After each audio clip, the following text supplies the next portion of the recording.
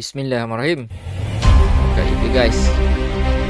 Oh, gol dia guys. Selamba tu James Raven dengan Wira guys. Bapak Indra Syafri. Bikin semua orang auto menangis. Allah.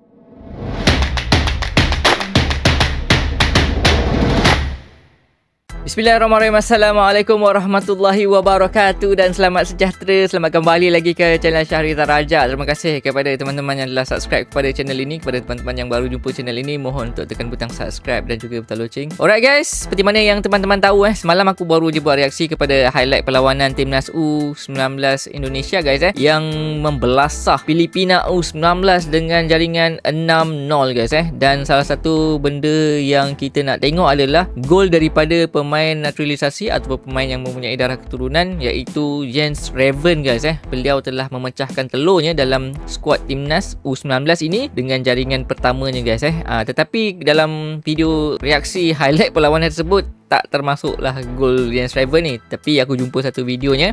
Kita nak lihat aksinya juga guys Yang menarik guys eh. Okay guys Mari kita sama-sama react. Let's go. Bismillahirrahmanirrahim. Kali itu guys. Oh Gol dia guys Selamba tu Jens Raven dengan Wira guys bikin semua orang auto menangis. Begini momen saat Jens Raven pertama kali mencetak gol bersama timnas U19 Indonesia. Semua pemain yang berada di bench langsung berlari ke arahnya. Lihat juga bagaimana reaksi Coach Indra Syafri yang membuat semua orang auto merasa tersentuh.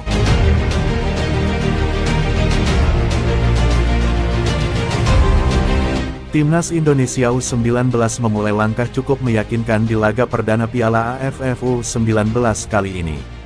Melawan Filipina, tim asuhan Indra Syafri berhasil membabat Filipina dengan skor telak 6-0 tanpa balas.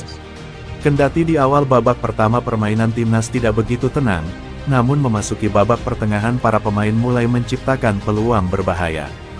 Gol pertama Indonesia diciptakan lewat sontekan kaki Arliansyah pada menit ke-13, usai menerima umpan cutback dari Doni Tripamungkas.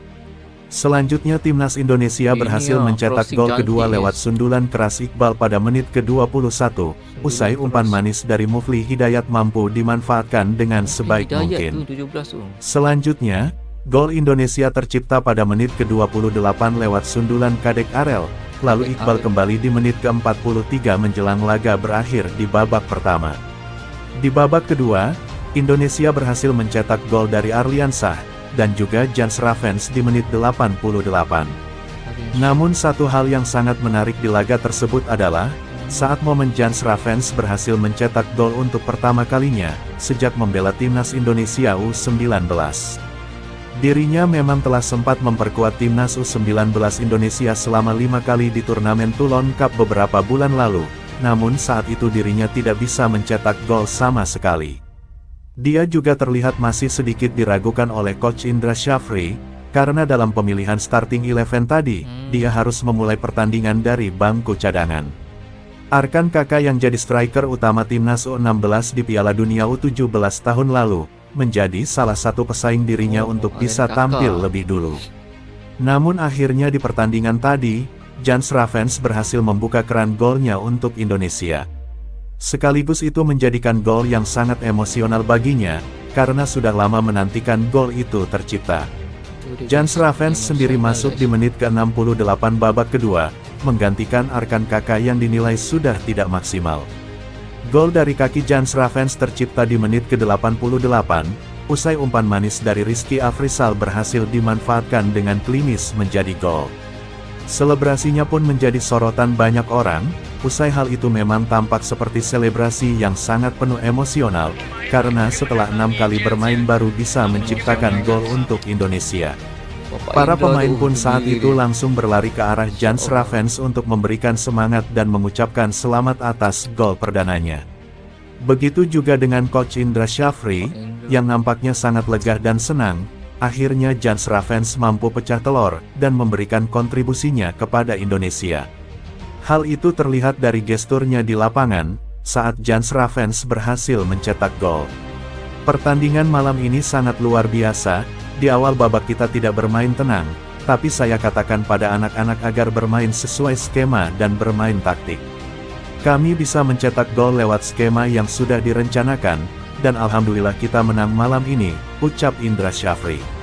Terkait Jans Ravens, itu adalah kerja yang bagus. Saya sudah katakan pada dia untuk bisa mencetak gol sebelum masuk ke lapangan.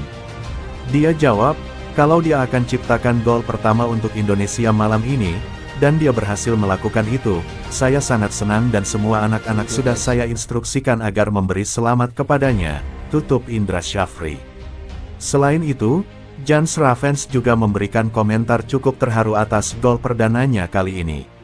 Dia menyebut, kalau dirinya sangat menanti gol itu terjadi, dan baru malam ini bisa kejadian.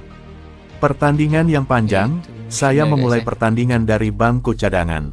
Itu tidak masalah bagi saya, dan saya sudah bertekad untuk bisa mencetak gol pertama bagi Indonesia malam ini, dan saya melakukan itu, ucap Jans Ravens. Ya dia pelatih kami, sudah katakan itu pada saya sebelum masuk ke lapangan, bahwa saya harus bisa mencetak gol lawan Filipina. Dan saya bisa membuktikan itu, itu adalah gol yang membuat saya terharu dan sangat emosional bagi saya. Mereka semua menghampiri saya dan ucapkan semangat dan selamat, saya sangat senang, tutupnya.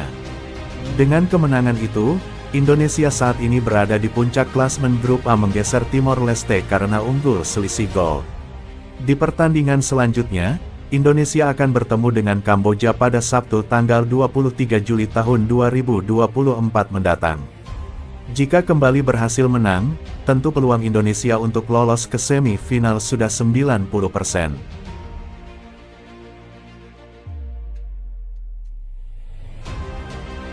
Alright guys, itu dia gol pertama Jens Raven untuk timnas Indonesia U19 guys eh. Rupanya Jens Raven ni telah bermain sebanyak 6 kali, 5 kali eh termasuk ini 6 kali dan ini adalah gol pertama beliau dan kalau kita lihat daripada selebrasi yang dilakukan oleh Jens Raven memang sangat emosional guys eh. Beliau memang nak sangat menjadikan gol dan akhirnya inilah gol pertama eh.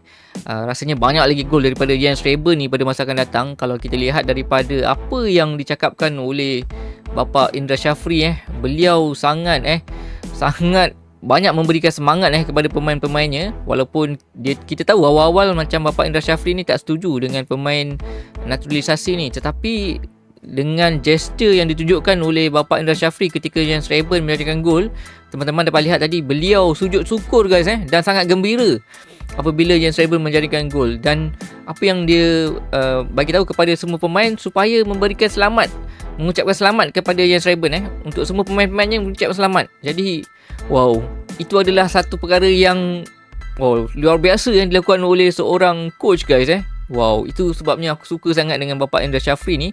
Beliau ni sangat motivated and then beliau ni pandai eh untuk memotivasikan anak-anak muda sekarang ni guys eh. Memang mantap guys eh. Jadi aku rasa bapa Indra Syafri ni mungkin akan lama lagi sebagai coach Indonesia ni guys eh dan kemungkinan mungkin satu hari nanti akan menjadi coach utama uh, senior nanti guys. Alright guys, apa pendapat teman-teman berkenaan dengan gol Jens Raven tadi? Uh, tuliskan komen teman-teman di kolom komentar di bawah guys. Okay guys, jangan lupa untuk like video ini kepada teman-teman yang dah subscribe. Aku ucapkan ribuan terima kasih kepada teman-teman yang masih lagi belum subscribe. Mohon untuk tekan butang subscribe dan juga butang lonceng. Kita jumpa dalam video akan datang. Assalamualaikum.